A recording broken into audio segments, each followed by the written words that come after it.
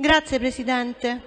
E come già eh, ha indicato il, il collega Fassina, eh, noi già un anno fa abbiamo presentato una mozione e le prime firmatarie eravamo proprio io e la collega Guadagno eh, su questo importante eh, argomento e, e quindi l'indirizzo politico di questa Assemblea è chiaro e si è già espresso però noi pensiamo che sia importante ribadirlo, soprattutto perché nel frattempo gli, gli atti di violenza, gli atti di intolleranza eh, di eh, natura omofoba eh, non è che sono diminuiti, anzi sono aumentati.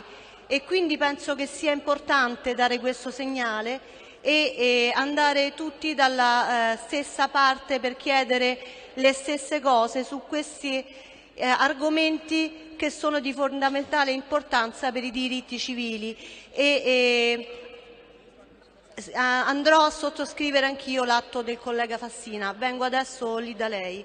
Il nostro voto sarà favorevole. Grazie.